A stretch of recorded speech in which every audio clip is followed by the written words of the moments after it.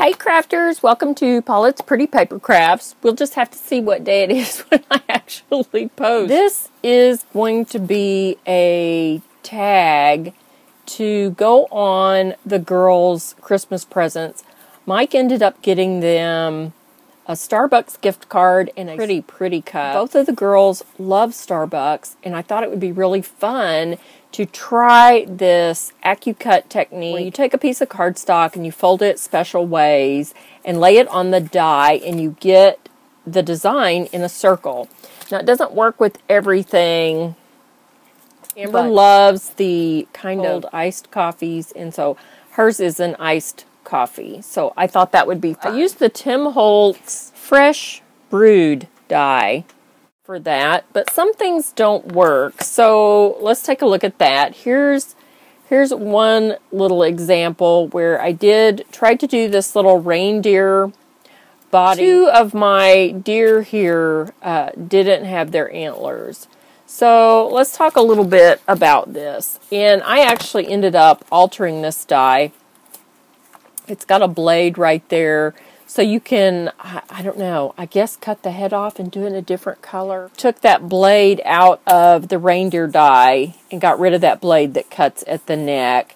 And did it again, and I did it with just not folding the cardstock all the way. The directions that I have are for an eight piece design or a six piece design. Some of it folds up a bit small, so it was kind of hard. And this was actually AccuCut Gingerbread Man die, and because of the way this fit on the die, all I got were the the heads of the snowman because your cardstock is all folded up like this and you have to put this on the bottom of the die so I didn't get arms or anything. I took a Sizzix snowman die and I didn't carry that over here with me. I'm so sorry. Doing the same thing.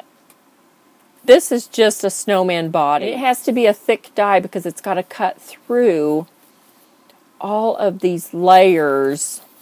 Let's see if I can fold this back up. See, it's got to cut through all of these layers. When I did the little four piece for this reindeer, I ended up just that. So I'm going to show you, you, you take your cardstock, if you have an 8.5 by 11 piece of cardstock and you fold it in half long ways and then you fold it in half again and then you have your fold on the right hand side in the bottom and then you bring this other side up.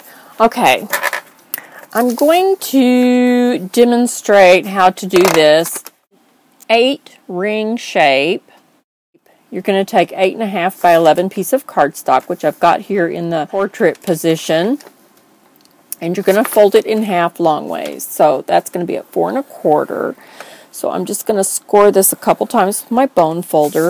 And then you're going to turn it in the landscape mode and fold it in half again, which is going to be five and a half. And you're going to go ahead and fold on those score lines and just, you've got the whole thing folded up. Then the instructions say keep your folds, so here's my fold at the bottom and my fold on the right hand side. So you want your fold on the bottom and your fold on the right hand side. Then you want to bring the left corner up and meet this edge. Well, I find that easiest to turn around and do it upside down. And just use my my scoring thing here to kind of help me do that, to help me get it started and then just pinch it and run your finger down it. In some instances, it was easier for me to go ahead and cut all of this excess, these are the open edges. So I could see just exactly how much cardstock I have to play with because in order to get all of the layers, that all has to be the same the same length. So let's see. Can you see my little cup right here?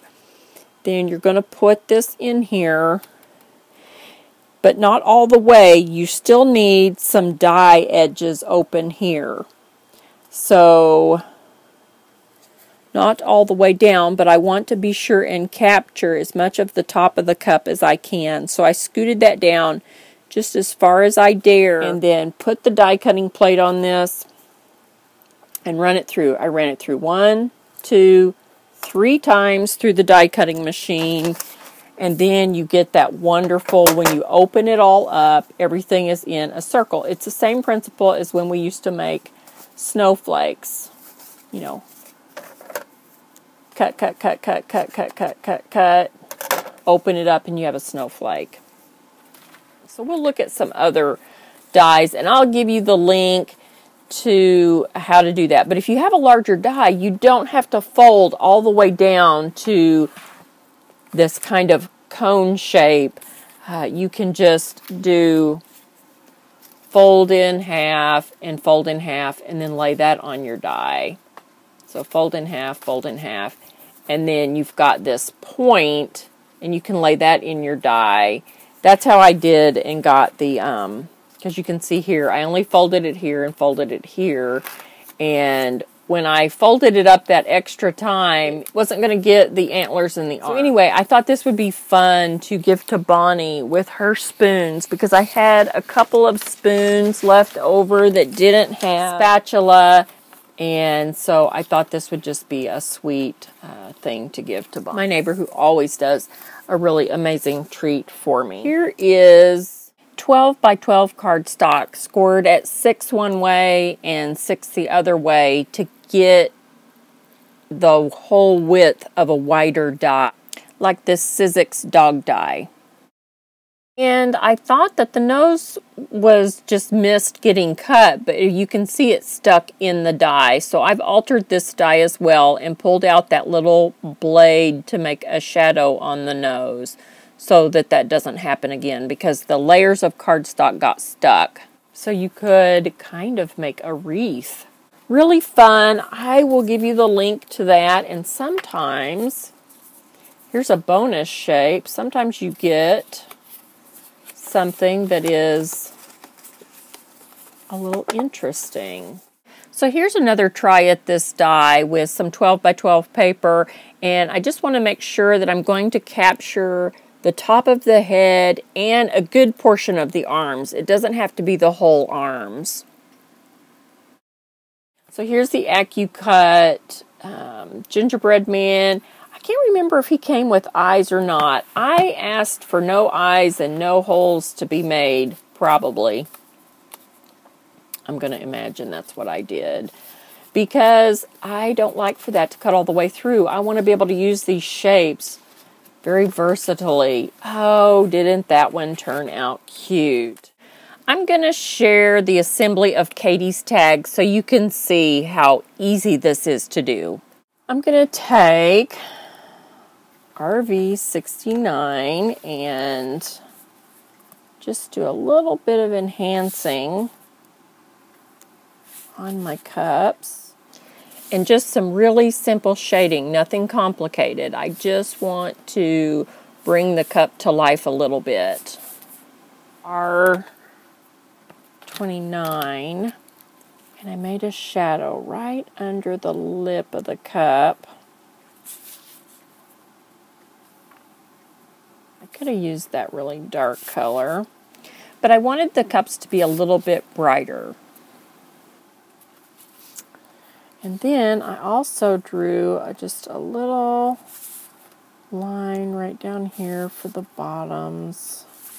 Katie likes traditional coffee, so I'm just going to do hers in a traditional coffee theme. And I ended up using this little sunshine stamp Craft Smart is a Michaels I think that's their own their own line. I just wanted that texture.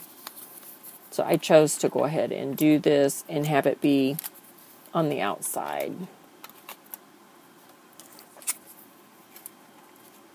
And it also gave me something to sponge and just really gave some good good texture. So here is that Tim Holtz die. And let's see, it is fresh brewed.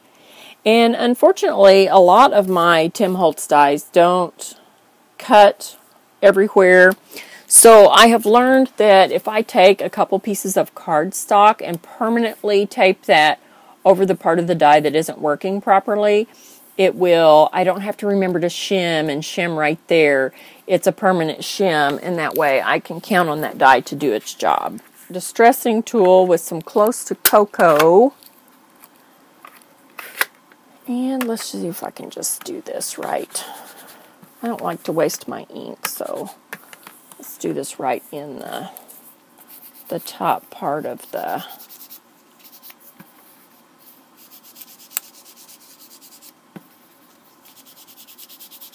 I think I'm going to do hers in some brown, honey brown from Bic. So let's go ahead and glue these little sleeves on. And I will have to trim some of these. So glue them on first, trim after. And really, I mean, they could overlap. It's not It'll just make it uh, more sturdy.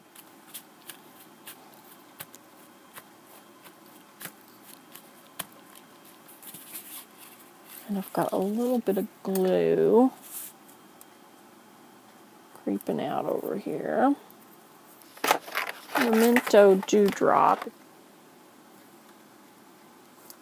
My darling Katie has a foam adhesive and so I'm going to recycle fun foam.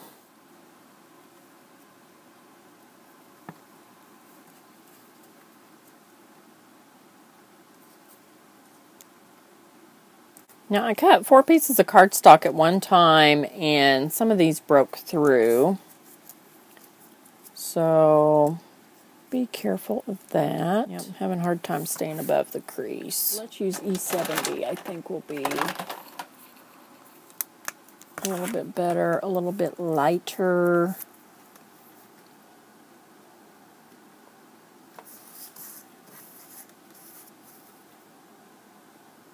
My hands don't really want to be doing this coloring. I did a bit of painting today on one of my gifts and then some spray. Little. My glue is traveling with me there.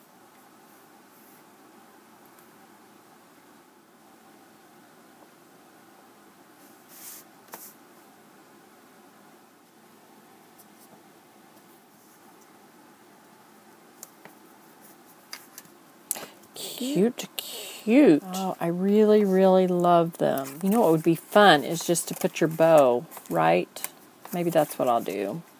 Because the coffee boxes are, you know, about four inches deep and they're about a square. And this will just lay right on top. It's going to be perfect. If you have any questions, be sure and let me know. And have a very Merry Christmas.